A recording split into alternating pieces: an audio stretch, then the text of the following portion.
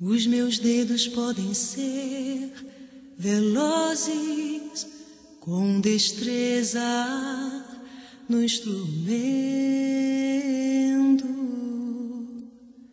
Posso até tocar bonito e correto. De que me vale tudo isso se eu não tocar pra ti, Jesus? Se eu não tocar em ti, meu rei, de que me valerá?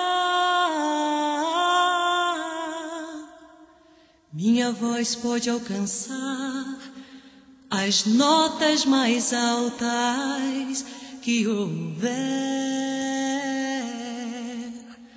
Posso ser um rouxinol com sons bem limpos.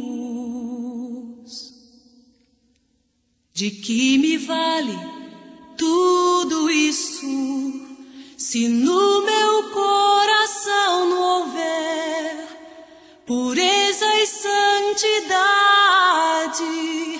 Se não houver um cântico que exalte a ti, meu fui feita pra te adorar, derramada aos teus pés, fui chamada pra cantar só para ti. O meu prazer consiste em fazer tua vontade te agradar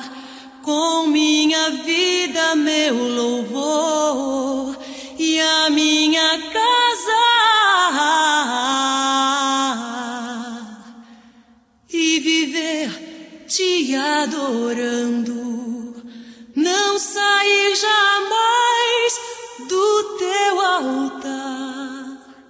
O único lugar de eu ser feliz,